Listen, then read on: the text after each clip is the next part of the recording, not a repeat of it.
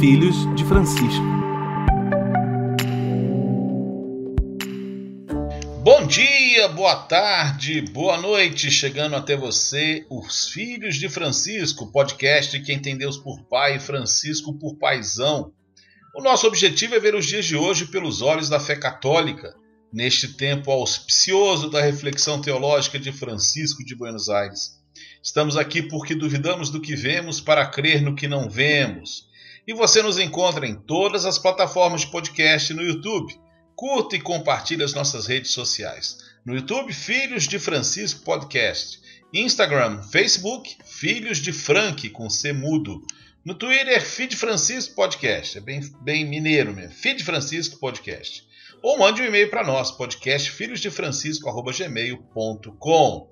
Comigo, Gabriel Resgala Silva, direto da Princesa da Mata, Rainha do Vale, a capital do pão borboleta, a doce carangola. Psicólogo e mestre em ciência da religião pela Universidade Federal do Rio de Janeiro pela Universidade Federal de Juiz de Fora. Já estava te mandando para outra cidade, Gabriel. Não é muito Eu... diferente, não, né? Não é muito diferente, não. X de Fora e Rio é tudo juntinho. Eu, Luiz Alberto Bassoli, sou licenciado em Filosofia pela PUC Minas e educador há 30 anos. Morava em Montanha, deixo o meu abraço especial, já estou indo para nova residência agora em Nova Odessa, próximo a Campinas. Mas por enquanto estou de home office na freguesia do Ó e agora, nesse dia, aqui descansando em Volta Redonda. Olha que loucura, hein? Nossa, meu Deus. Direto! É, direto do Meier, o orgulho do subúrbio dos suburbanos, Luiz Felipe Barbedo, que é professor e psicólogo pela Universidade Federal do Rio de Janeiro, além de ser músico, compositor. Mas isso a gente conta outro dia. Bom, hoje nós temos um tema bastante atual, bastante provocador tem a ver com a nossa realidade. Começamos falando que todos os anos, você sabe, os bispos do Brasil se reúnem em Assembleia Geral, este ano pela primeira vez de forma virtual. E neste tempo de pandemicídio, a mensagem que o Papa enviou para a Assembleia Geral foi direta ao povo brasileiro. Nós vamos acompanhar agora o áudio da matéria do Vatican News sobre a mensagem do Papa à Assembleia dos Bispos do Brasil. y ser instrumento de reconciliación, ser instrumento de unidad. Y esta es la misión de la Iglesia en Brasil, hoy más que nunca. E ser instrumento de reconciliação, ser instrumento de unidade. Esta é a missão da Igreja no Brasil. Hoje mais do que nunca. E para isso é necessário deixar de lado as divisões e as desavenças. É necessário encontrarmos-nos no essencial com Cristo, por Cristo e em Cristo. Esse pronunciamento dos bispos após a, a, após, desculpe, após a conferência, no encerramento dela, foi a própria CNBB que fez o seu pronunciamento e foi um pronunciamento muito duro. Vamos ouvir acompanhando também a matéria do Vatican News. Os bispos brasileiros afirmam que os três poderes da República têm cada um na sua especificidade, a missão de conduzir o Brasil nos ditames da Constituição Federal, que preconiza a saúde como direito de todos e dever do Estado, e que o momento exige competência e lucidez.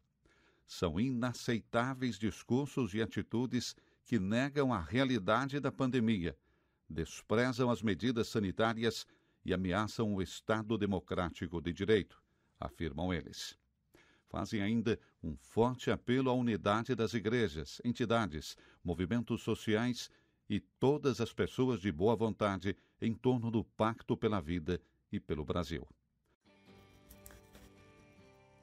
Recentemente, o biólogo Átila Yamarino, juntamente com a historiadora, aliás, com a advogada, jurista Deise Ventura, falaram da imensa responsabilidade que pesa sobre governantes que fecham os olhos e não tomaram as medidas adequadas para lidar com esse problema, com esse drama que o Brasil vive.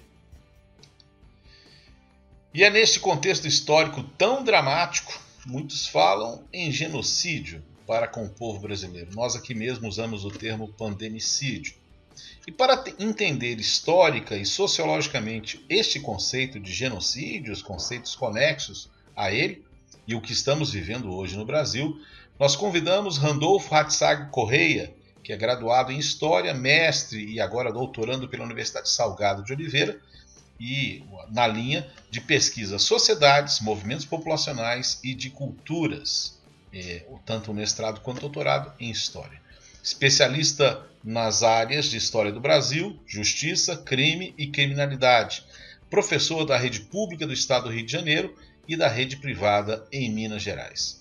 Bem-vindo, Randolfo, bem-vindo, Gabriel, bem-vindo, Luiz. Randolfo, a gente sempre começa com uma pergunta para o nosso entrevistado, para quem está conversando conosco. É uma pergunta surpresa, não te contei. Você também é filho de Francisco? Olha, o meu abraço para todos, né? É um prazer muito grande estar aqui, né? Conhecendo o Luiz Felipe, o Luiz Bassoli, mas também revivendo aí grandes histórias, né? Com meu amigo Gabriel, um dos meus amigos mais antigos, né? que mesmo que a gente não se encontre, né, a gente tem sempre uma história para contar e a gente tem muito respeito, e eu particularmente tenho muito carinho, muito respeito, muita admiração pelo Gabriel. Mas sim, me considero um filho de Francisco, né? Acho que por duas perspectivas. É, pela perspectiva de Francisco de Assis, né? Pela mensagem, pelo exemplo, pela caminhada, e por Francisco de Buenos Aires, conforme você mesmo mencionou na abertura. Né? Eu acho que é um líder muito à frente do seu tempo e que, na verdade, vai deixar um desafio, um legado para a humanidade muito importante, sim. Minha resposta é sim, com muita, com muita honra, com muito orgulho. Eu acredito que é, é, cristãos de todas as denominações e até mesmo pessoas que não são praticantes, né, se consideram, porque ele é um líder a ser seguido, tá? O meu abraço, meu carinho e o meu agradecimento por estar aqui com vocês hoje. Aliás, a Mircele Medeiros, que é nossa correspondente vaticanista em Roma, já participou duas vezes aqui conosco, ela estava comentando essa semana como ela percebe a admiração, e eu também percebo isso, mas faço a referência que ela tem um alcance maior, é, de quanta, quanto reconhecimento que o Papa Francisco tem de cristãos em todas as denominações. Gabriel, bom dia, boa tarde, boa noite. Qual a sua palavra inicial? E pode aí perguntar para o Randolfo sobre o que, que você quer sobre esse começar sobre esse assunto hoje. Bom dia, boa tarde, boa noite. Também é um prazer estar aqui mais uma vez com vocês e com, com o Randolfo, o outro carangolense que vai participar com a gente aqui. Eu era isolado né, aqui nesse podcast. Hoje temos mais um comedor de pão borboleta e pão e pão azedinho aqui, né? Que qualquer dia eu mando para vocês aí, ou para vocês experimentarem o nosso pão canangolense, nossos pães canangolenses, né? É, mas eu queria começar fazendo um, um paralelo que a gente está falando, né? De é uma palavra que tem sido usada muito é, hoje em dia, que é genocídio, né? E, e às vezes de uma forma indiscriminada, às vezes de uma forma sem saber muito do que se trata. Queria começar pedindo para o Randolfo esclarecer um pouco para gente dando uma, uma opinião aí sobre o uso desse termo e se ele seria adequado para o momento que a gente está vivendo. E, enfim, citando outros exemplos da história para a gente ter uma ideia do que, que é isso e, e, e como é que funciona, né? O, o que, que representa falar de genocídio ou de massacre é, nesses tempos que a gente, a gente vive. Bom, Gabriel e meus amigos, a gente tem que pensar um pouco sobre os conceitos, né? Os conceitos eles, eles estão aí, né? E não é só o genocídio que vem sendo proferido regularmente. É, e eu acho que fica o convite, né? É, o dicionário nunca foi tão atual, é, é os, e, sobretudo analisar os contextos onde esses termos são empregados, né? O genocídio, por exemplo, né? Você faz uma rápida pesquisa e você percebe que antes de 1944 ele não era é, utilizado. Né? Uma coisa interessante. Até então se utilizava né, um conceito relacionado ao massacre, né? mas aí depois de um tempo, alguns especialistas compreendendo que massacre é um conceito que não necessariamente expressa um objetivo claro, sobretudo na motivação das execuções, né?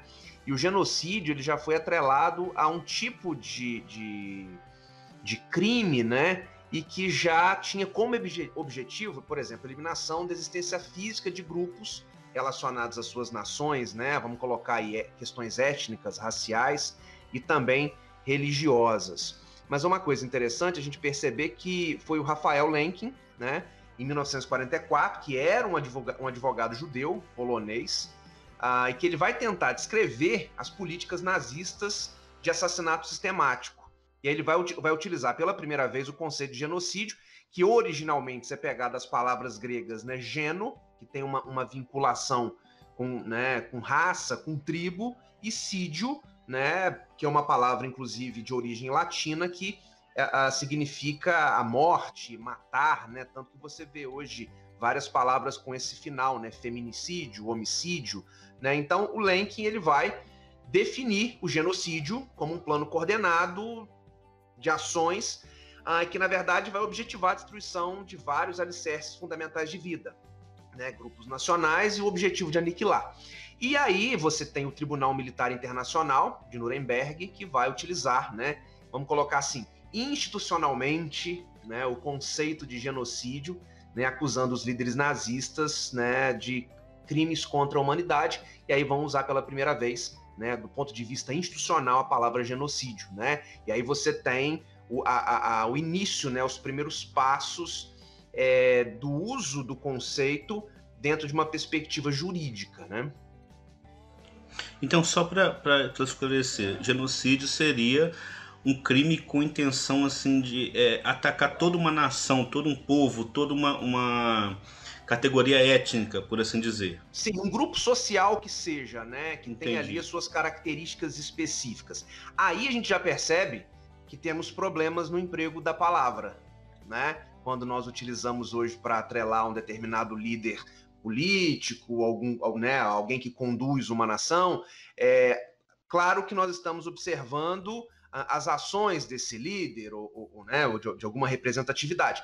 Mas terminologicamente, né, do ponto de vista até originário, né, o objetivo não necessariamente se encaixa aos parâmetros atuais. E aí é o grande problema do anacronismo, né? Da mesma forma que hoje você vai utilizar, ah, o fulano é fascista, ah, o Beltrano é comunista, são conceitos muito atrelados à sua época, né?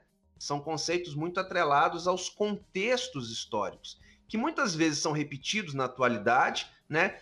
Historicamente isso seria um erro, né? Mas é para atrelar os contextos e os movimentos, né? Mas originalmente o objetivo, né, de, do conceito é esse extermínio, né, de grupos sociais, né? Independente ali das suas questões.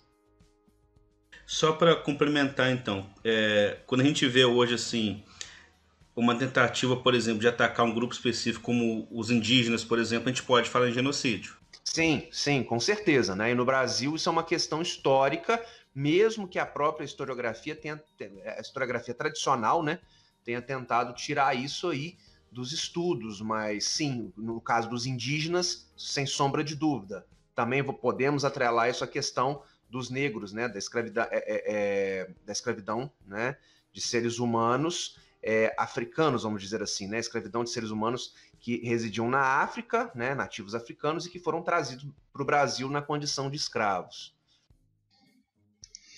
Bom, é, é, o, enquanto a gente, o Barbeiro deu uma, uma, uma, queda na internet dele, eu ia passar a palavra para ele, mas Randolfo, então eu faço a pergunta para você, eu faço um comentário e faço a pergunta, exatamente sobre essa linha aí que você trouxe agora, sobre a história do Brasil. O que me chama atenção é, é, na, em todas as circunstâncias que estão acontecendo hoje no Brasil, é um pouco uma certa, um certo ar, entre aspas, de normalidade. E às vezes gente, eu fiquei pensando quando essa crise foi crescendo, né, de que é, para certa parte da população o que está acontecendo não deixa de ser normal. Hospitais lotados, ausência de medicamentos, é, pessoas morrendo próximo, porque boa parte do povo brasileiro, infelizmente, viveu isso historicamente. É, embora você já tenha tocado nesse assunto, no que se refere aos índios é, e aos é, é, africanos, né, que para cá foram trazidos à força, o que, que você, qual o paralelo que você percebe, né, entre essa essa passividade diante do que está acontecendo hoje e do nosso processo histórico. Aliás, eu até acrescento uma coisa né, que se fala muito: é, é o pobre brasileiro está acostumado com a tortura, o pobre brasileiro é, na comunidade, na favela, é, tem um Estado repressor que não respeita os seus direitos. Quer dizer, parece que o que está acontecendo agora é uma amplificação né, é, de toda uma situação de, de morte que faz parte do nosso contexto histórico. Pois é, é, é, Luiz, uma coisa me chama muita atenção nesse sentido, porque quando a gente fala né, de alguns conceitos relacionados a racismo, é, sobretudo essa, essa diferenciação, né, essa coisa mais evidente de grupos étnicos, o que acontece no Brasil hoje é, é, é tenho por mim que, é, que a pandemia apenas exacerbou né, e, e trouxe para uma certa divulgação né, determinados eventos que já ocorriam no Brasil. É, você falou sobre essa questão, né? A gente comentou sobre a questão da escravidão. É, recentemente, né, a gente está vendo uma, uma reformulação até mesmo da aplicação de conceitos. Né? Hoje você já pode ser, inclusive, é, é, é, é notificado, até mesmo né, alguém pedir para que você reformule, né? Você falar ah, a vinda de escravos para o Brasil. Né? Hoje, dentro da academia, esse conceito, essa forma, essa expressão, ela já é totalmente revisitada. Né? Sobretudo que nós estamos falando de seres humanos escravizados. Né? E, existem várias, vários estudos já nesse sentido, né? porque comumente nas escolas, ah, os escravos, não, seres humanos escravizados. Por quê? Quando você menciona o conceito, ah, os escravos, você já traz uma normalidade na aplicação da frase. Né? Então, é, é, é, evidentemente, você já olha, né? Nós somos pessoas, né? Somos brasileiros miscigenados, mas que infelizmente bebemos da água da retórica do, da, super, da superioridade, né? Sobretudo como uma parcela significativa da população miscigenada, né? Isso que é o curioso, olha para comunidades quilombolas e já observa de maneira diferente, né? Já olha com inferioridade, né, já a, acaba absorvendo uma retórica, uma dinâmica europeia. É, inclusive, inclusive tem pessoas que olham os quilombolas e pesam em arroba, né? Inclusive, chegou até a presidência da República, inclusive. Confesso, confesso que estou assim tentando me, me segurar para não entrar no, né, na menção tão evidente, mas é impossível, é impossível, né? Quando você começa a, a, quando você tem um líder de um país, né, fazendo menção a quilombolas e você deixou isso muito claro, né? É, é, fazendo menção às arrobas. Né? Não produz nada, né? Essa frase, essa frase ele encerrou, não produz nada. Então é, é muito complicado. E aí você vê essa dinâmica no Brasil, e aí me permita falar, né? Porque esse é um movimento anterior ao próprio presidente da República. Né? O presidente da República ele só encorajou uma retórica que já existia no Brasil, desde que, né, sobretudo após o que a gente chama de descobrimento, né? ah, mas que na verdade ficou ali no submundo, né? É, é, é, nos bueiros dessas, dessas pessoas, até que eles se viram representados, né? O que a gente costuma dizer, né? Que o bolsonarismo ele é anterior a Bolsonaro, porém com um conceito diferente, não tentando partidarizar o nosso debate, mas que infelizmente toda, é, é, é, todo esse debate que nós estamos aqui fazendo veio à tona por conta dos posicionamentos né, do presidente da República. Então, realmente, é, um, é, é, uma, é uma questão que já está enraizada no Brasil. Tanto que a gente pode lembrar né, de uma célebre palestra né, do Ariano Suassuna, onde ele critica uh, uma divulgação né, dos 500 anos do Brasil. Né? E, e, e, muitas pessoas aí consumiram esse produto né, uh, das comemorações, fazendo menção de um Brasil existente após 1500.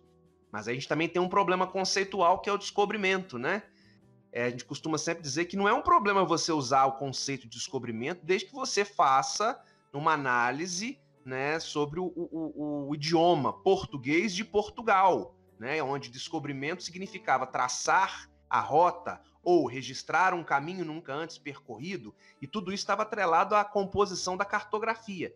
Mas nós não podemos, inclusive, absorver né, essas retóricas e, e reproduzi-las. Então temos um problema. E aí, volta, aí, aí trazendo esse debate para a questão da saúde, né, é, que você mencionou, dos hospitais, da falta de exames, Eu acho que, na verdade, isso só evidenciou né, é, e, e, agravou um problema já existente no Brasil.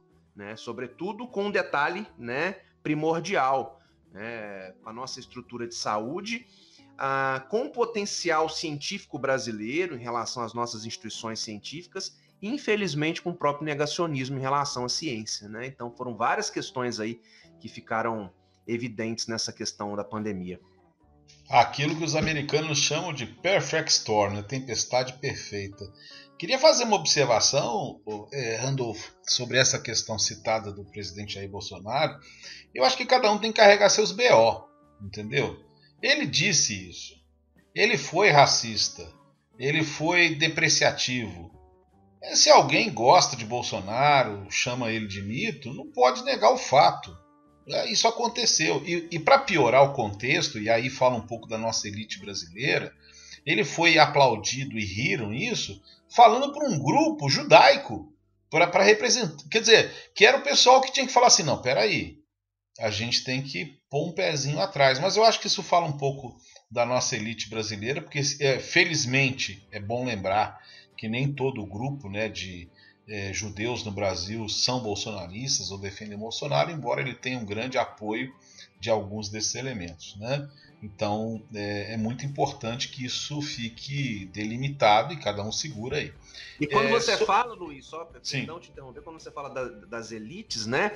É, vamos lembrar de uma parcela significativa de uma classe que se tornou média, né? E que acabou absorvendo esse discurso, muitas vezes defendendo essa retórica e agora já volta para condições anteriores em relação à pobreza, à limitação econômica. Então, na verdade, eu, eu, o meu ponto de vista, sobretudo, é uma retórica que já existia, né, e que, na verdade, esses grupos né, se sentiram representados né, para defender abertamente o que né, bem entendiam né, sobre a questão é, étnica, a questão, sobretudo, a questão da mulher, né? Você falou, você mencionou a questão do, do, dos grupos quilombolas, né? Mas a famosa frase, né? Tive três filhos, na quarta vez eu dei uma, uma fraquejada e tive a minha, a minha menina, minha filha.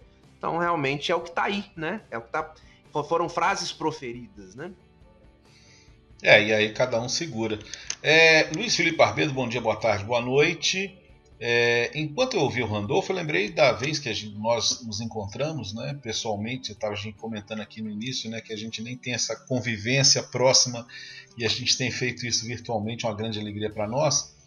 E você disse aquele dia, né, quando a gente esteve juntos, né, antes, nos períodos pré-pandêmicos, né, é, você disse uma coisa que eu nunca vou esquecer, é, que é, na verdade, o Bolsonaro, é, essa, essa doutrina, né, essa esse bolsonarismo ele já estava aí latente, né? É, e ele se manifestou, se oportunizou, né, numa, numa candidatura política, né, num movimento político. E eu me lembrei, enquanto eu vi Randolfo, sobre isso. O que, que você gostaria de comentar? Bom, gente, bom dia, boa tarde, boa noite, ouvintes. Bom dia, Luiz, Gabriel, Randolfo, seja bem-vindo. É um prazer mais uma vez estar aqui nessa, nessa mesa, nessa mesa virtual, cada um num canto do, do país, e a gente se reúne é, é, para conversar sobre esses temas. É sempre um, um, um, engrandecimento muito grande, assim, para mim. É, sim, sim, o, o, o, Bassoli, é engraçado que sim, quando, você, quando a gente fala sobre bolsonarismo, é engraçado, e o Randolfo já, né, já levantou essa pedra de que o, o bolsonarismo precede o Bolsonaro, é, é, a sensação que eu tenho é que existia um discurso latente na sociedade que estava. Que, que, depois da, da, da, redemocratização do Brasil, ele ficou um pouco sufocado. Né, diante de toda a, a de tudo aquilo que, ninguém que a ditadura fez no, no no, no país e como ela deixou o país na década de 80, né? E, e, e, e, também por causa da anistia, né? Que acabou sendo uma espécie de, de grande acordão né? nacional, do tipo, olha, a gente libera vocês, né? A gente, né, esses militares falando, né? A gente libera os exilados, libera os condenados, mas é, desde que a gente também não responda por nada, né? E foi esse o grande acordão que foi o, o, o que foi a redemocratização do Brasil. É, e esse discurso ficou latente durante muito tempo, mas foi um discurso que eu, por exemplo, vi muito em casa, né? Porque eu cresci dentro de uma família bastante é, é, tradicional, né? Meu pai era policial, minha mãe era professora primária, né? Então o, o, eles eram uma encarnação do, do, do, discurso que se ouvia muito durante o período militar e que estava é, é latente, né? E que o Bolsonaro re, reencarnou esse discurso que estava na sociedade. Então eu até queria perguntar para o Rodolfo o que, que ele pensa a respeito disso, sobre essa questão dessa reencarnação de valores que, que tinham ficado latentes na, na sociedade brasileira desde a ditadura militar e que, é, e que foram, de certa forma, calados pela redemocratização, né? ou seja, né? Não, não há espaço mais para discursos autoritários, racistas, misóginos, etc, etc. Só que a, a, não é porque o, o, discurso passou a ser a não ser bem visto que a sociedade tenha realmente de fato deixado de ser racista e, e né, e, e, preconceituosa em todas, em todas essas áreas, contra as, as, minorias de uma maneira geral. E até eu tinha anotado também, tem uma relação com isso, a pergunta que eu ia fazer pro, pro, pro Randolfo tem uma, uma relação com isso, que é a ideia é do seguinte, será que o Brasil de fato se constitui uma nação, né? Porque quando a gente fala sobre genocídio, a gente fala diretamente, diretamente não, indiretamente, de microfone. Indiretamente aqui sobre etnia, né? Sobre a ideia de cultura e sobre esses, esses, todos esses conceitos que a gente que a gente se depara quando estuda ciências humanas, né? Então, será que o Brasil, enquanto se constituiu enquanto nação, será que o Brasil se constituiu enquanto uma unidade é, nacional, como o, Brasil, o brasileiro se enxerga como brasileiro? Né, diante de todo, de, é, dentro de todas as suas manifestações culturais, suas manifestações artísticas, manifestações intelectuais, científicas, etc. Acho que ficou complicado demais, né? Vou tentar resumir, assim, um pouco, falando muita coisa, vou tentar resumir um pouquinho. É, você acha que, o primeiro, né, antes de mais nada, deixa eu separar, você acha que essa, essa o que que tem do discurso é, que estava na que, que, que, veio que era dos militares né durante durante o período da, da ditadura e que hoje retorna no dentro do, do bolsonarismo. É, Felipe fica tranquilo eu acho que você foi cirúrgico assim. É uma coisa que me chamou a atenção e você foi muito preciso quando você é, é, tra, né, traz o debate da ditadura é, eu vou fazer, vou dividir também as respostas, né? Mas vamos começar pela questão da ditadura e, e o processo de redemocratização. Para começar, a gente faz uma análise muito específica sobre o processo de redemocratização, uma vez que você falou muito bem desse acordão, né? Ah, de certa forma, de uma, de, uma, de uma liberdade condicionada à não punição dos militares é, é, fácil você estabelecer esse comparativo na medida em que você estabelece, onde você compara Brasil e outros países sul-americanos, onde todos esses países puniram os seus ditadores e o Brasil não. O Brasil não puniu nenhum dos seus ditadores. Ah, mas teve é, é, alguns anos atrás, né, aquelas famosas comissões da verdade, né, sobretudo a ditadura militar. Mas o que, que efetivamente ocorreu em relação à punição desses torturadores? Nada, porque se tivesse, né, se houvesse algum tipo de punição específica, o nosso querido presidente não teria, né, lembrado, né, e de certa forma homenageado o General Ustra na, na, na votação do impeachment. E provavelmente não teria nem chegado onde chegou, né? Exatamente, exatamente. Então, eu acho que isso já diz muito. O Brasil não puniu os seus ditadores, a ponto de você perceber uma parcela bem robusta, bem significativa da sociedade brasileira, fazendo uma alusão positiva à ditadura militar. Né? Não, porque na época da ditadura, ah, não, mas a, a ditadura só prendeu terroristas. E aí vem o um problema conceitual de novo. Ou seja, se você se opõe à condição governamental que é totalmente ditatorial, automaticamente uma ficha de terrorista vai ser né, é, é, é construída para você. Então, a, a, as bases ideológicas da ditadura militar foram muito bem montadas e sobrevivem até os dias de hoje, né? Onde você, eles pegam várias fichas criminais de políticos, artistas, para dizer, ah lá, tá vendo? Prendeu porque era terrorista. Bastava o questionamento da condição governamental. Né? Então eu acho, eu acho que a própria é, é, é, o próprio processo de redemocratização diz muito. E aí uma coisa importante, né? No momento em que o Brasil, pós-redemocratização, né, passou por uma vivência onde era modismo é, é, se colocar como progressista, eu prefiro usar esse conceito do que de esquerda, né? Porque também já embananaram o conceito todo e é difícil falar de esquerda e direita no Brasil, né? Muito complexo. É, todo mundo era progressista. Inclusive os bolsonaristas, vamos colocar assim, né? Eu estou falando em relação ao movimento. Quando se sentiram representados, todos saíram do campo do progressismo e passaram a colocar para fora aquilo que bem entendiam. E sobre a questão que você colocou, né, da, da dos indígenas, dos negros no Brasil, eu acho que um, em grande parte, né, também está atrelado esse processo ideológico na medida em que a própria historiografia não privilegiou esse tipo de tema. É uma historiografia muito mais tradicional e que agora a academia está tendo que dar conta. Uma coisa interessante, você pode perceber, você estuda né, a questão indígena no Brasil, descobrimento, você passa ali 1530, né, do período pré-colonial, eles, eles desaparecem do livro didático. Você só volta a estudá-los ali com o Marechal Rondon, né? Eles, eles simplesmente somem dos livros didáticos, pelo menos os, os, que eu estudei na minha infância, na minha adolescência. De 10 anos para cá, você tem especialistas, historiadores que estão mergulhando para entender, inclusive, escravidão indígena, que foi sim uma realidade muito contundente no Brasil. Né? Então, eu acho que tudo isso parte, inclusive, de um tradicionalismo que também teve sua parcela na ditadura militar. Para você ter uma ideia, né? Tiradentes. Tiradentes passou a ser estudado nos livros didáticos no regime militar, né? Porque eles, é, esses militares acreditavam que o Brasil precisava de heróis, né? né?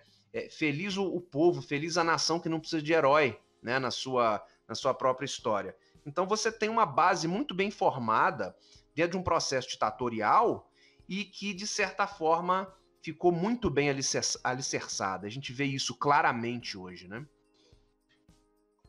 É, o Tiradentes era o, o, o, o, típico, né? Que era, ele era policial, republicano, né?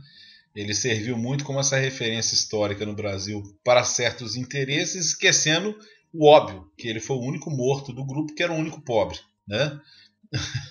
Chama muita atenção e que às vezes eu tenho que é, é, é, é, frustrar muitos alunos para dizer, olha, não olhem, eu sou, eu sou mineiro, sou bairrista, né? Mas eu digo o seguinte, infelizmente... Não, mineiro e bairrista é redundância. Exatamente. Ser mineiro e bairrista, né? Mas assim, olha, vai, volta Não lá. olhem para a Inconfidência Mineira como uma representação ah, de um processo libertário para o Brasil. Porque um, um, movimento que busca né, uma independência né, de uma província, de uma futura província especificamente, né, ah, para fugir de uma certa dívida de determinado grupo, mas que quer permanecer escravista, eu não tenho como falar de liberdade, igualdade, fraternidade para um evento desse. O que eu, o que eu não teria como né, posicionamento em relação à Conjuração Baiana, que é uma outra perspectiva. Exatamente, exatamente. Eu ia citar isso, né? A Conjuração Baiana está ali do lado, né? E, e, e, esquecida. Falando em esquecimento, esse ponto que eu queria colocar, é, eu, é, logo no começo da, da pandemia, antes, na verdade, que se tornasse um pandemicídio, como eu costumo dizer. Eu me lembro que teve um médico, eu vou até. Esse vídeo tem no YouTube, as pessoas podem pesquisar, em que ele falava que o que estava acontecendo era um processo de eugenia. Né? A ideia que o, o presidente trazia era: todo mundo tem que pegar essa doença, quem é fraco morre, os outros engolem o choro e segue adiante. A ideia dele é mais ou menos essa. Né? Mas olha, se me permite, Pois não. Esse, esse discurso, é, ele encontra eco, inclusive, em alguns pronunciamentos também do vice do general Mourão. Né, que várias vezes, inclusive durante a campanha e mesmo depois de, de, de eleito, por várias vezes deixou escapar claramente a visão que ele tinha sobre a, os povos indígenas, sobre os negros, e também era, era uma, uma, uma visão extremamente como é que dizer? Racista, é. Eugenista, é, racista. Hum? É, é, seria até interessante, Randolfo, se você pudesse até trabalhar um pouco a definição de eugenia, se fosse o caso, mas não é, não é esse o ponto que eu queria citar agora, não. O que eu queria falar é o seguinte: não, e, e o Luiz já levantou um pouco isso falando em século XX, Luiz Barbeto, que é o seguinte. É, a gente tem uma tradição histórica realmente de jogar as coisas para debaixo do tapete. Tem até aquela referência, né? Eu não sei até onde isso é completamente real, mas é o que se ouve, o que se fala, que o, o Rui Barbosa queimou todos os arquivos referentes à escravidão. Né? Tipo assim, ó, isso é uma página ruim da nossa história, então vamos esquecer isso. Será que esse, essa, essa, essa política de esquecimento histórico é, não seja um dos problemas mais sérios que a gente tenha para observar o óbvio, ou seja, é, é, eu acho que é uma dificuldade psicológica também, né? De pensar assim, poxa, peraí, é, eu não acredito que o presidente da República está pensando que as pessoas devam morrer se elas forem fracas. Porque eu não penso assim. Então, se eu não penso assim, às vezes eu acho difícil achar que o outro possa pensar assim. Mas isso está na fala dele, como eu estou dizendo. Não estamos aqui criticando o Bolsonaro. A gente está dizendo o que ele falou. Nós não estamos inventando nada. Então, cada um segura os seus BO. Está lá o discurso dele falando isso. Então, é, seguindo um pouco, será que essa, essa mania, esse processo histórico brasileiro de, de fingir que não aconteceu, é, de que uh, o escravo era alguém da minha família, tinha aquele processo também de, de, do compadrismo, né? que, o, o, o, que era aquela questão também das famílias, que é uma coisa que a historiografia tem visto novo, de, de trazer o escravo para dentro de casa e a figura da, da, empregada doméstica acabou virando em muitos lugares historicamente também uma sequência disso. Será que essa, essa coisa brasileira de acomodação da, do processo de opressão e, e, de apagamento histórico não está influindo que as pessoas não observem o que está acontecendo hoje no Brasil? Sim, e você falou do, do vice-presidente, é importante deixar claro, ele falou, ele usou uma expressão, né, branqueamento. Ele falou do neto e falou que ele entrou num, num, numa, num caminho importante porque o neto dele encontrou branqueamento, diferente dele. Né? Foram palavras do general Mourão.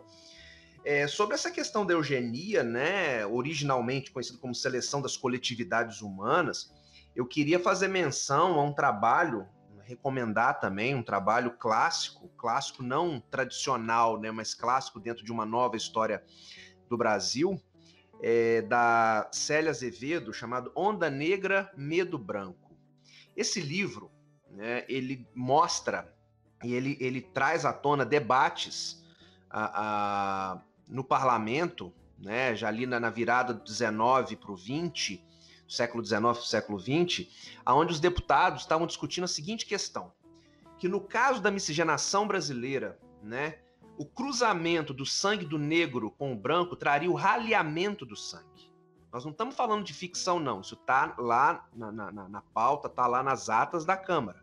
Tá? É só a gente fazer a pesquisa e no livro está lá reproduzido. E aí eles estavam discutindo qual nação, né, qual, qual representante de nação deveriam trazer na imigração para não ocorrer isso. E aí o debate sobre os italianos, né, a, a, as pessoas da Alemanha de maneira, de maneira geral. Isso é o Brasil do final do século XIX. Né? E aí você, você lembrou muito bem o Rui Barbosa, né, que a, a, propôs apagar, né, não conseguiu apagar tudo, mas uma parcela né, da história é, é, negra do Brasil. Mas, Randolfo, desculpa, Diga. isso perdurou até o início do século XX, né? Sim, não, sim, sim, porque as pessoas, Felipe, as pessoas acreditam o seguinte: 13 de maio de 1888. Eu tenho um quadro aqui do, do Debré, de uma, de uma coleção do Rugendes e do Debré, que tá assim, né? Um branco e um negro apertando a mão, assim, agora sim, ou seja, acabaram os problemas de inserção social, de integração, não existe mais racismo no Brasil. Então tem um grupo significativo que, né? Esse, esse debate perdurou e existe até hoje, né? Vou ter que voltar o Bolsonaro no Roda Viva, né?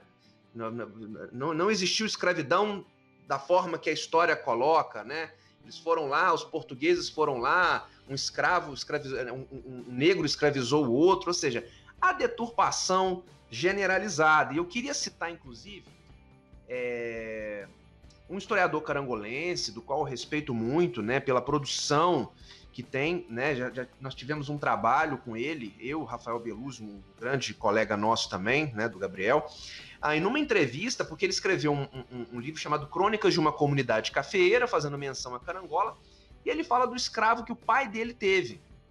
E há uma, uma, uma, uma dinâmica, um, uma fala de que, por exemplo, acabou a escravidão. Geralmente os negros não saíam das fazendas. E ele, ele menciona que o escravo que o pai tinha não quis sair da fazenda. Aí o que, que ele reproduzia depois? Que a escravidão era tão boa, para alguns casos, que eles acabavam ficando onde eles estavam. E aí que está o perigo, né? Eu analisei um processo no século XIX em que um senhor de, um senhor de escravos, né? Quer dizer, deu 13 de maio de 1888, eles eles souberam, né? Eles receberam a, a, o comunicado em Carangola dois dias depois. Ele mandou né, os negros embora, eles não queriam sair da fazenda. Então, o discurso que se levantava na época que era uma situação tão boa que eles não queriam sair. Quando na verdade não, eles vão sair para onde? Qual o tipo de integração, qual o tipo de inserção social que existe a partir do 13 de maio? É exatamente esse o problema. Onde as pessoas questionam hoje políticas de cotas, de fato é uma situação muito complexa, mas é como se o racismo não existisse no Brasil. É extremamente complicado. Há pouco tempo saiu uma matéria, esses dias, essa semana, um professor da rede pública do estado do Rio de Janeiro, numa videoaula gravada, questionando o racismo, professor de geografia. Não sei se vocês viram isso. Né? Então, esse é um debate que não morreu lá, não. Esse debate está. Né, né? E essa afirmação, de maneira perigosa, está aí nos dias de hoje. Randolfo, vou abrir um parênteses aqui, lembrando que a, eu acho uma postura bastante importante. É, o principal grupo de mídia do Brasil, a Rede Globo, tem feito é, muita reflexão e trazido muito a questão à tona do racismo no Brasil. Né? Isso é uma coisa que, é, inclusive, se a gente observar as outras emissoras de televisão, a gente vai perceber que repórteres e apresentadores negros estão hoje principalmente na Rede Globo.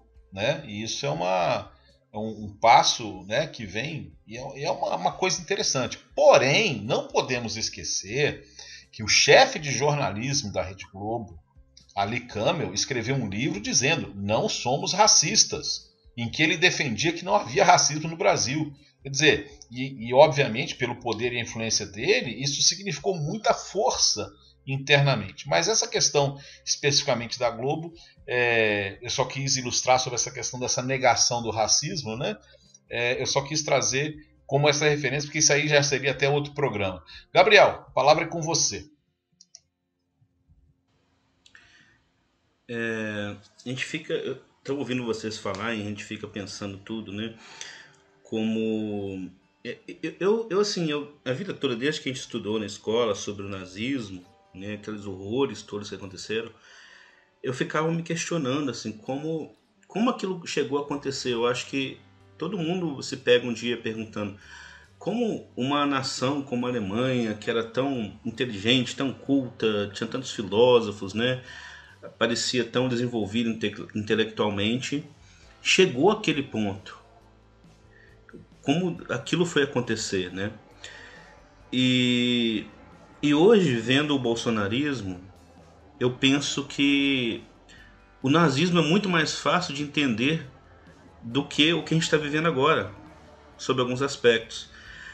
Porque o genocídio né, quando ele é explícito, quando ele é, é direcionado a alguns grupos específicos, tem aquela sensação, não, está levando ele, né? São judeus, não tem nada a ver com isso. Estão levando os gays, os socialistas, né? Eu tô aqui, tô protegido do meu lado e né, tem até aquela história, primeiro levava um, levava outro e depois quando via que estava todo mundo envolvido. Mas a princípio, as pessoas que, que deixaram Hitler, deixaram o nazismo chegar ao poder, elas pareciam não acreditar que iria ser contra elas, né, que as coisas iam se virar contra elas. Que é um, um pensamento extremamente egoísta, mas que é que dá para você entender a sua lógica. Já o que a gente está vivendo hoje, é, eu acho surreal porque o Bolsonaro sempre deixou muito claro que ele era contra tudo e contra todos, que os preconceitos dele eram é, a respeito de uma parcela gigantesca da sociedade. Né? Era contra negro, era contra gays, era contra mulheres, era contra índios. E a gente vê desses grupos, uma parcela gigantesca deles votou desse homem. Um número gigantesco de mulheres votou nele. Um número grande de, sei lá, gays, negros, né, que tem a maioria da população negra votou nele, de pobres, né? Que ele, aquela famosa frase dele que pobre é, é, que tinha que fazer um controle rígido de natalidade, porque pobre só servia para voltar e, e é, ter diploma de burro no bolso, né? É... Teve aquele pronunciamento também dele sobre é, que as minorias deveriam se dobrar às mai a maioria. Né? Sim. E isso em campanha, né? Em, é, mas é, é, na verdade, o, o, o, é o contrário, né? Porque ele era contra tanta gente que se a gente for ver no, é, do, do, do, pela definição numérica, ele era contra a maioria. Ele era contra a maioria da população, de tudo que ele falava. Né? É, aqui em casa eu tive um exemplo, né? A gente, minha família é, ela é descendente sírio-libanesa, né? E teve um pronunciamento do Bolsonaro que ele falou que é, é, os imigrantes sírios eram escória da humanidade, usou essas palavras. É, e aqui muita gente votou nele, né? Então é uma coisa muito difícil entender, assim, como é, é, o paralelo que eu consigo imaginar é, por exemplo, com uma pessoa envolvida num relacionamento abusivo, que é o tempo todo humilhada, que é o tempo todo agredida, o tempo todo escorraçada, mas continua apoiando aquela pessoa que faz aquilo com ela, né? Porque é, é como e o que a gente está vivendo hoje na pandemia é um exemplo muito claro disso, porque apesar de ter alguns grupos que estão sofrendo muito mais com essa pandemia, os indígenas, os pobres, os negros, é algo que está afetando todo mundo, todas as classes sociais, inclusive muitos apoiadores do presidente, né? Muita, muita gente assim e, e muita gente não está nem aí para isso, né? É, é, é, continua nesse discurso dos, dos fortes sobrevivendo, dos fracos sendo deixados de lado. Mas mesmo quando esse fraco é a mãe da pessoa, quando esse fraco é uma pessoa idosa, quando esse fraco é um amigo que tem alguma doença, ninguém está nem aí, né? Então é uma coisa que para mim é muito difícil entender a lógica disso, né? É, e, e, não sei, eu queria perguntar para o Randolfo se ele consegue é, é, pensar em alguma, alguma forma da gente entender isso na lógica do pensamento brasileiro, né? É uma, já que é uma coisa que vem de muito tempo, além de todo preconceito, além de todo racismo, além de todo machismo, além de só um instantinho que tá passando a sirene aqui.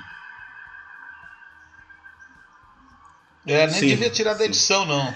Sim, né? Esse momento de pandemia. Não, não, não, tira da edição, não. Pode deixar tá, essa sirene aí que faz parte do contexto histórico. É, a gente está falando de uma pandemia, tá passando a sirene aqui agora. É, enfim, que, que, infelizmente passou a ser mais um, um, algo comum no Brasil hoje em dia, né? Eu acho que boa parte das pessoas ouve muito frequentemente o som de sirene passando perto das suas casas. E agora, nesse momento, a gente está com 3 mil, 4 mil mortes diárias. E para muita gente continua tudo ok, né? Então, como explicar isso, nesse sentimento, isso em nosso país, essa, essa é, é, falta de, de, é, é de sensibilidade diante do massacre, diante é, da perda da vida, que às vezes é a vida dentro da nossa própria família, às vezes é a vida nossa, né?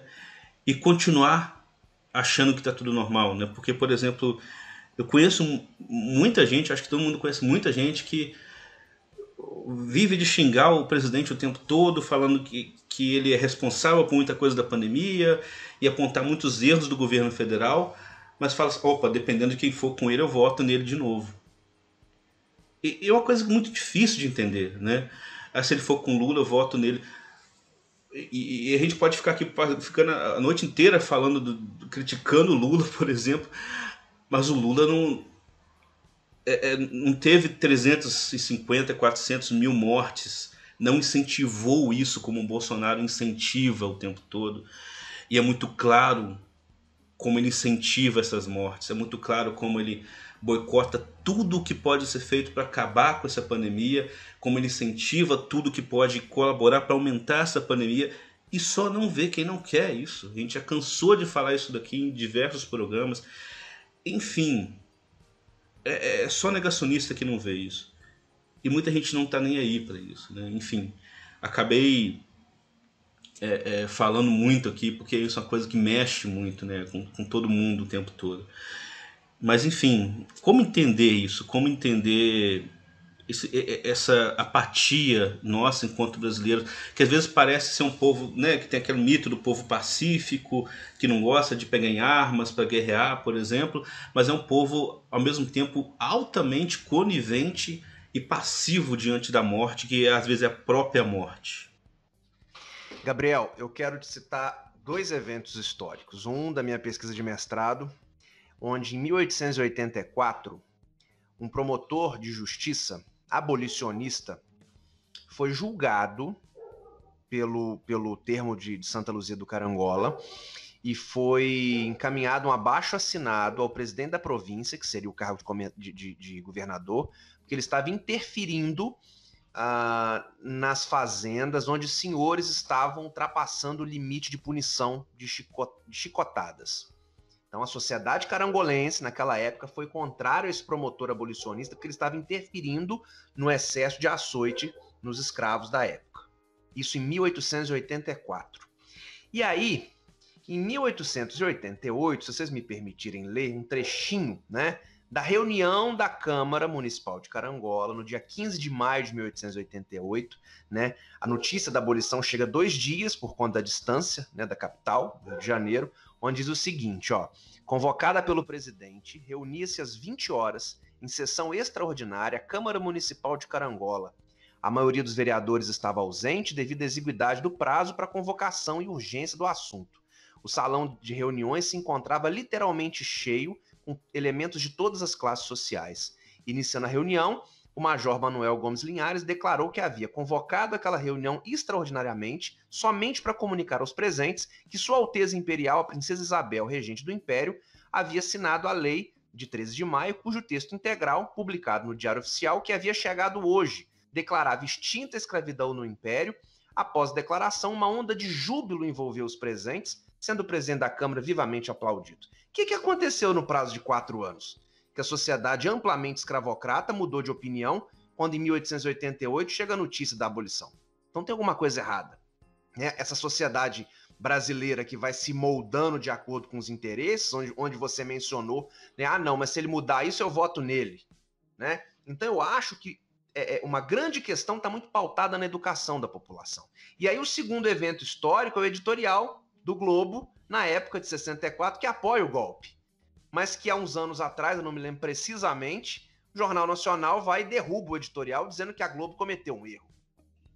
E aí 2014, que é muito. Isso, 2014. Anos, isso. 50 anos Desculpa. depois. E só fazendo um paralelo com, com os inúmeros editoriais que o, que o, que o Estadão está lançando todo dia quase, falando que, é uma, que 2022 vai voltar a ser uma escolha muito difícil, que o brasileiro, por pior que seja agora, ninguém está lembrando como foi na época do Lula é, é, impressionante isso, sabe? Impressionante como eles querem. É, enfim, sei lá, continua a sua fala.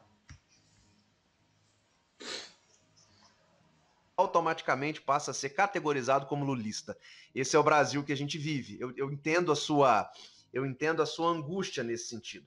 Mas a ponto de nós entendermos quando um cidadão que defende arduamente o presidente da República chama Globo de comunista existe um. Aí nós voltamos ao problema do conceito de genocídio, de fascismo. Existe um problema do ponto de vista educacional na sociedade brasileira, porque você atrelar Globo a comunismo é um assassinato à intelectualidade de qualquer pessoa. É muito difícil você entender isso. Mas a retórica é essa. Então, se você se coloca contrário a Bolsonaro, você é comunista. Faz uma simples pergunta: o que, que é, o que, que é comunismo? Ah, mas a ditadura comunista. Pera lá, ditadura é uma coisa, comunismo é outra. Você já leu o manifesto? Já entendeu quais as bases? Eu, Randolph, não sou comunista, mas é, eu estou problematizando a situação. Né? Você tem várias. Como alguém falar, por exemplo, em ditadura capitalista. Alguém usa esse termo? Exatamente. Ele já ouviu, esse termo em algum lugar? Que me perdoem os colegas de profissão. Você não tem comunismo no século XX. Você tem tentativas aonde muitas vezes se implementou ditadura para poder é, é, é conduzir um sistema comunista que, na verdade, não tem nada a ver com o que Marx pensava. Marx deveria estar se revirando no caixão nas experiências que nós tivemos em relação à Rússia, em relação à Guerra Fria. Comunismo, tal qual pensado por Marx, é uma coisa. As experiências que foram implementadas no século XX nada tem a ver com isso. Então, é um problema educacional, é um problema de formação. Num século XXI, num 2021, que, já se, que ainda se discute terraplanismo, tem alguma coisa errada né? E aí você começa a perceber. Tem um canal, às vezes me pego em raros momentos de ócio olhando esses canais. Por exemplo, tem uma. O cara fala que vai apresentar né, a prova da Terra plana, ele pega lá as calotas polares derretendo, ele fala que aquilo é o, né, é o final. Então, uma coisa assim, doentia. E aí eu acredito que seja o grande problema né, da, da repetição dos discursos. Gabriel falou isso muito bem, é, é, e me chama muita atenção, por exemplo, a reprodução do discurso e a crença na própria mentira de quem produz e, a, e, de certa forma, a reprodução daquilo que foi inventado. Por exemplo, propaganda contra a saúde pública, porque existe uma, uma dinâmica também de privatização dessa saúde pública, as fake news, né, as informações técnicas sem as comprovações científicas, e aí eu posso botar no bolo tratamento precoce, automedicação, né, os resultados em relação, é, por exemplo, a, a cloroquina, ivermectina, né, que tem agora como reação hepatite medicamentosa. E aí uma coisa interessante para a gente pensar basta uma pequena análise comportamental, porque é sempre a mesma história. Ah, o marido da amiga minha que é obeso, tem comorbidade, tomou a cloroquina, fez o tratamento, e sempre são as mesmas, os mesmos contextos. É amiga minha, é o amigo meu, quer dizer, não tem. Você pede uma comprovação científica, vem aquele videozinho do YouTube que uma pessoa falou, que tomou, que deu certo, mas agora é o negacionismo, né? É colocar em xeque os parâmetros científicos é extremamente preocupante que a gente está vivendo, extremamente desgastante, porque você tem exatamente, por exemplo, grandes institutos científicos no Brasil, vamos colocar aí Butantan, né, a Fiocruz, e que são jogados aí à crítica de uma comunidade que está preocupada com e, e, e, que dá credibilidade à notícia de WhatsApp e a determinados vídeos de YouTube. Ninguém apresenta uma pesquisa, ninguém é, é, é apresenta uma comprovação científica. É sempre um videozinho. É, é, e aí o que, que acontece? uma pequena parcela que agora viu o que fez, tentando passar pano. Então eu entendo a angústia, Gabriel. É uma angústia que todos nós vivemos, inclusive hoje, porque se você não se declara bolsonarista, automaticamente vão te colocar aí no como um comunista e vão te mandar para Cuba. Né? Então é realmente muito complicado. É deprimente o que a gente está vivendo. Mas se a vacina sair lá antes, eu vou para Cuba, tá? Pois é, pois é. E, e, e até o movimento anti-vacina, cara. O movimento. O Brasil sempre foi referência em produção de vacina. Olha o que, que o Brasil está vivendo hoje.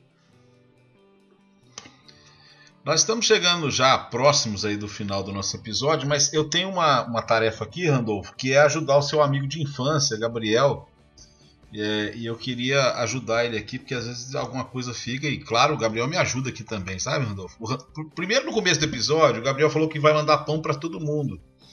E aí os, o pessoal que tá ouvindo tá achando que é para todo mundo mesmo, mas é só para mim e pro Barbedo, tá, gente? Senão ele vai ter que quebrar, vai, vai, vai eu quebrar. Eu não falei todo mundo, não, falei? Falou, falou depois, você ouve Ih, desculpa, eu vou tirar vou mandar, não, depois. Você disse assim, vou mandar para vocês. Ah, vocês eram os ouvintes que já estavam no ar, né? Porque a gente tava conversando do pão antes, né?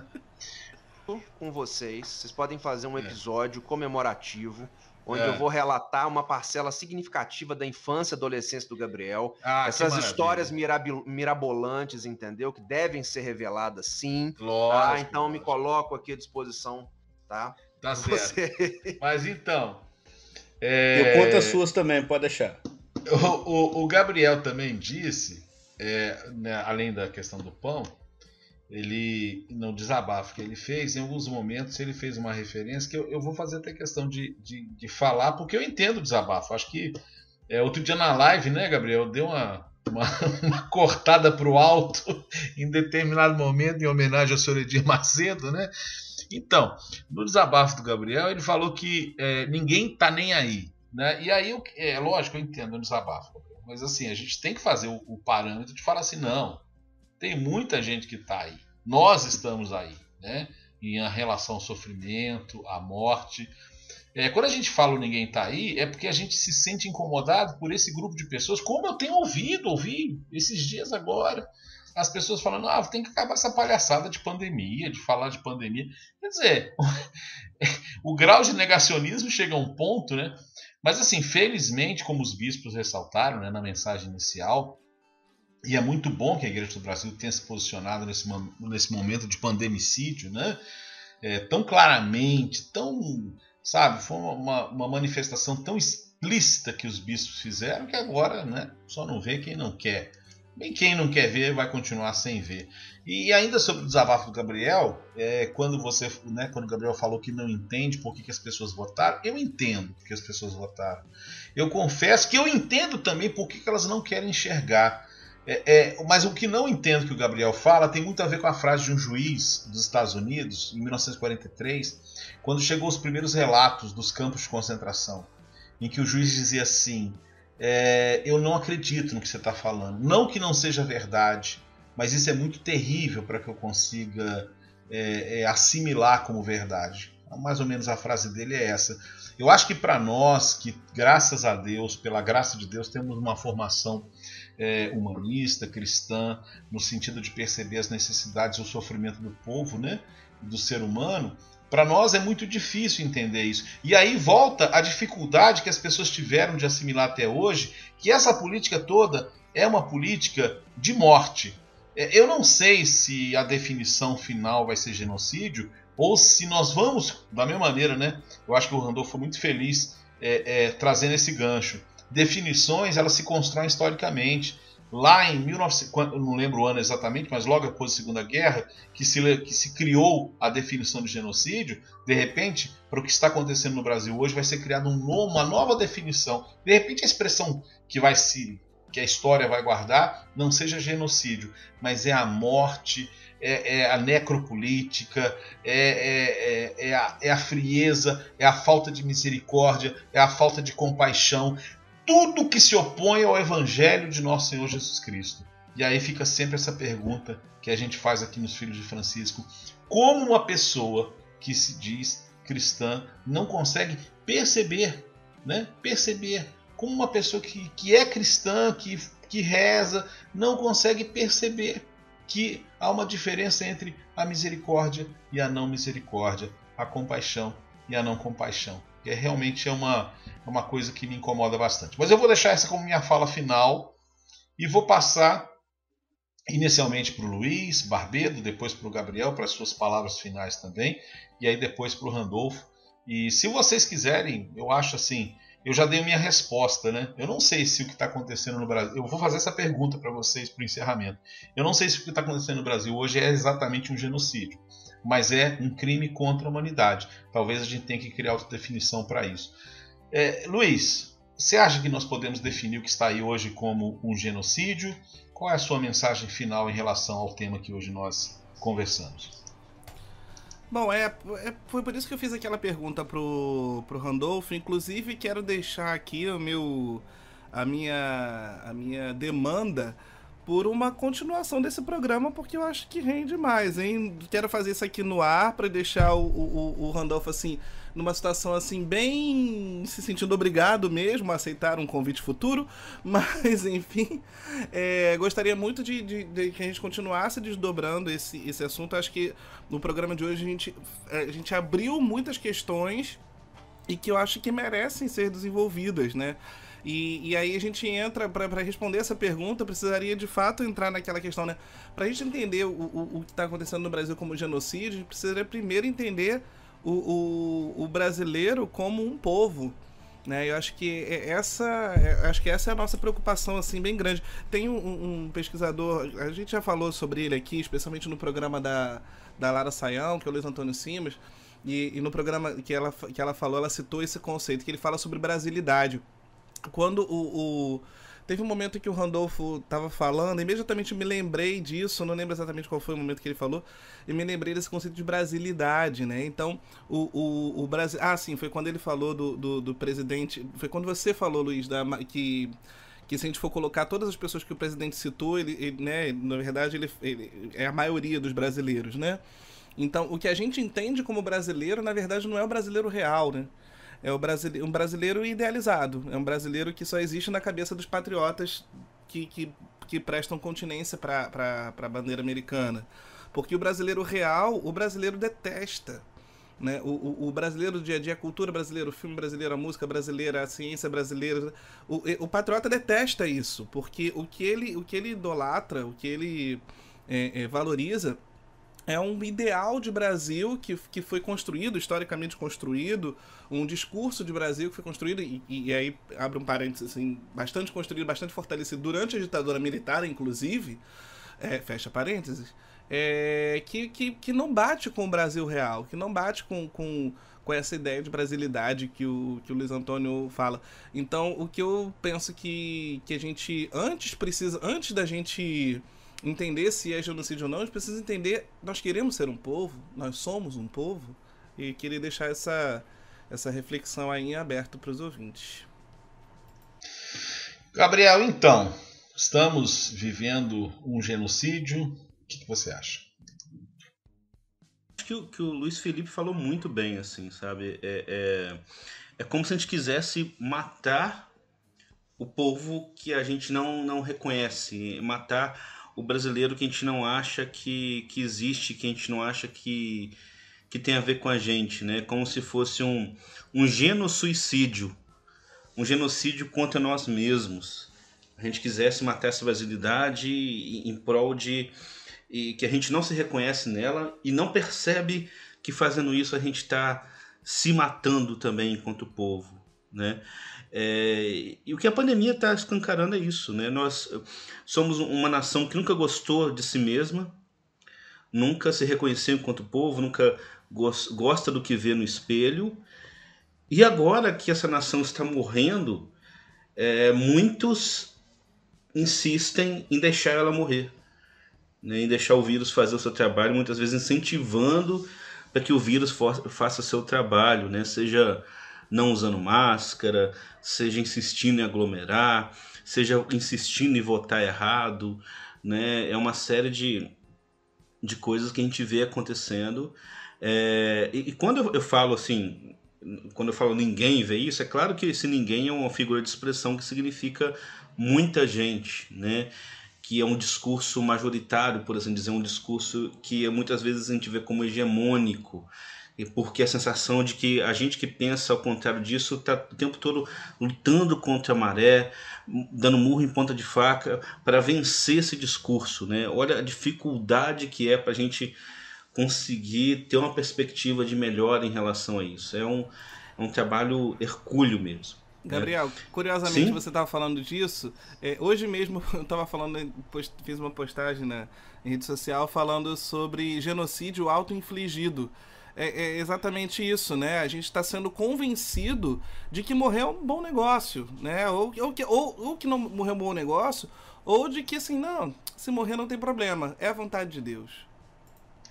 Ou, ou como diria a secretária de Previdência Social do governo Bolsonaro, muito amiga do ministro Paulo Guedes, o posto Ipiranga, que pelo menos esse, essa pandemia vai diminuir os gastos da Previdência Social é, com os idosos que vão falecer.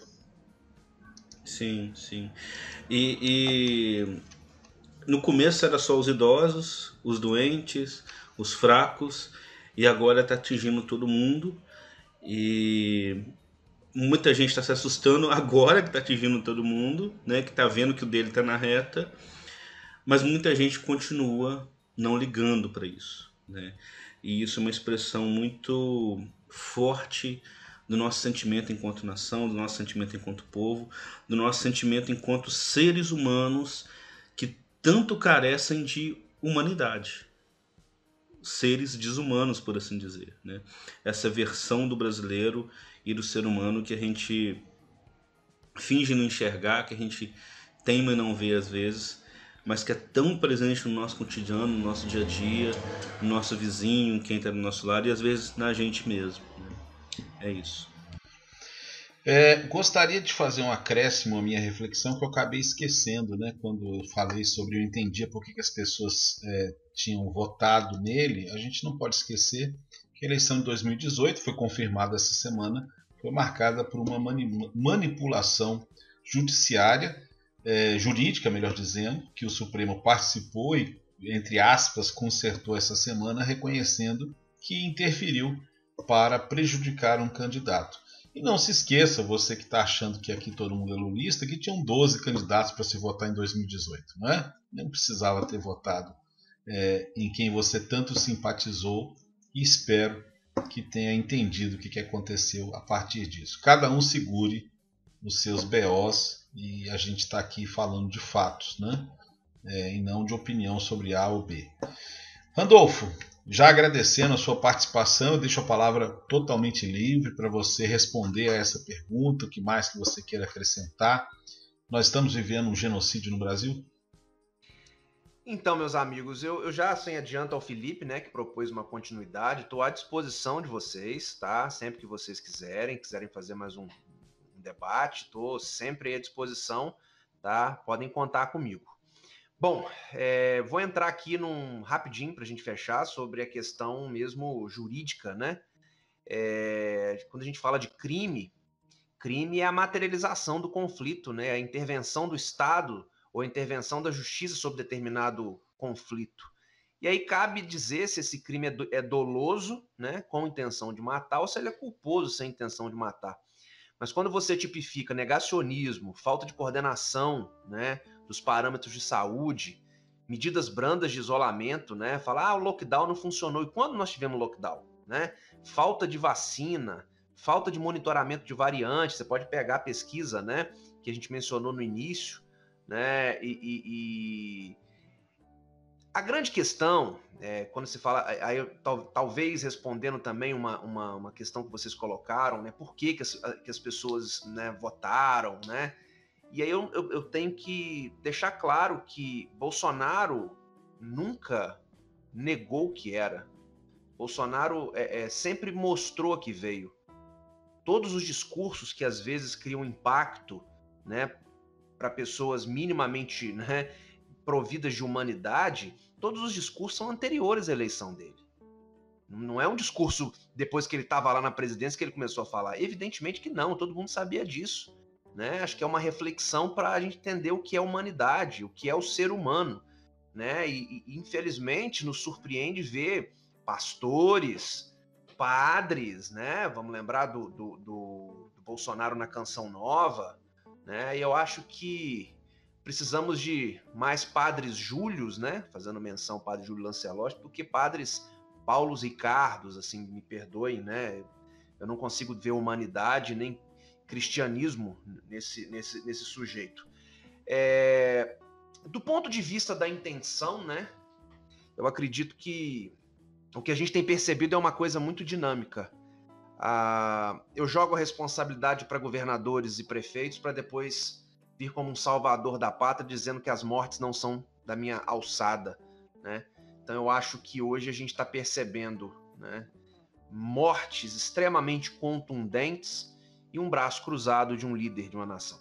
Então, claro que historicamente eu não posso usar o conceito de genocídio, né, mas quando se vê né, essa intenção clara, vê também que eu que sou atleta, para mim vai ser uma, uma, uma gripezinha, mas para aquele que tem comorbidade, sinto muito, ele vai morrer, aí de fato a gente pode repensar assim na aplicação do conceito de genocídio. Né? Infelizmente, é... não estou otimista, porque eu não estou vendo uma política pública adequada, mas essa angústia né, vive nas nossas, nos nossos corações e a gente tem sempre a, a, a né, sempre pedir a Deus aí por, por dias melhores, né? É onde a gente pode se apegar. E olha, pessoal, muito feliz, agradeço demais a, a, a possibilidade, né, o convite, né? Gostei demais da dinâmica, tenho um carinho muito grande, né, pelo Gabriel. E quero aqui rapidamente deixar um depoimento que foi no convívio. Eu convivi muito com o Gabriel no, na infância e tudo, depois voltei a conviver com o Gabriel na adolescência. Um grupo de amigos muito especial, muito especial para mim e que, de certa forma, né, o, a, a busca deles por educação, por uma universidade, também me recolocou nesse caminho. E eu acho que é exatamente essa dinâmica, né? O brasileiro precisa de educação de qualidade, né, para conseguir compreender melhor aquilo que está no entorno. Nossa, só retribua aí o, o, o, elogio muito bacana. E você superou, né? Você já está no doutorado, eu fiquei parado só no mestrado, só. É legal isso, essa, essa possibilidade, assim, essa, essas coisas que a gente, essas influências que a gente tem sobre os amigos que a gente nem sabe, né? E eu tenho grandes lembranças também desses períodos todos aí, várias várias coisas que a gente leva no coração, né? Agora, só para deixar claro que só um, um, um adendozinho no final do programa, só para não, não ser muito cancelado, que eu mencionei, porque eu, eu ousei falar o nome do Lula no episódio, né? Eu só quero deixar claro o seguinte, assim, contra o Bolsonaro, eu voto em qualquer um que aparecer. Eu voto no Temer, eu voto no Emael, eu voto numa planta, se a planta estiver lá, eu voto nela contra o Bolsonaro. Como eu fiz isso em 2018 e faço depois, tá? É, para os é... ouvintes, eu conheço o Gabriel há mais de 30 anos, ele nunca foi lulista, se eu posso garantir. Mas mesmo que fosse, isso não é pecado, né? O pecado, enfim, é só ouvir o episódio que a gente pode deduzir o que, que é. Eu gostaria de encerrar esse episódio com a seguinte fala Brasil acima de todos, Deus acima de tudo nos jogou num fosso desumano.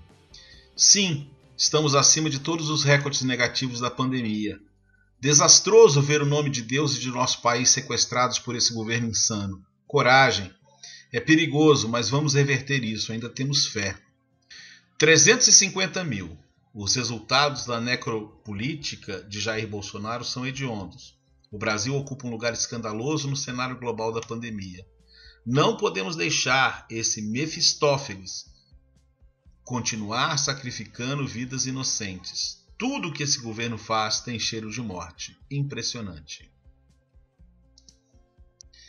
O fim de um sujeito perverso é trágico no tribunal da história. Sempre cai no precipício que ele mesmo constrói com o apoio de seus fanáticos. Horrível é que no Brasil sua ruína é a de um povo inteiro. Enquanto essa variante da Covid-19 ocupar o poder, a pandemia será sem fim. Palavras de Dom Vicente Ferreira, bispo auxiliar da Arquidiocese de Belo Horizonte, membro das comissões de Ecologia Integral e Mineração e Cultura e Educação da CNBB. Você encontra, você nos encontra em todas as plataformas de podcast no YouTube. Lá você pode ouvir os episódios anteriores. Siga-nos nessas plataformas, Spotify, Deezer, Jesus fez ainda muitas outras coisas. Se fossem ditas uma por uma, penso que nem o mundo inteiro poderia conter os podcasts que se deveriam ser gravados. Um abraço e até a próxima.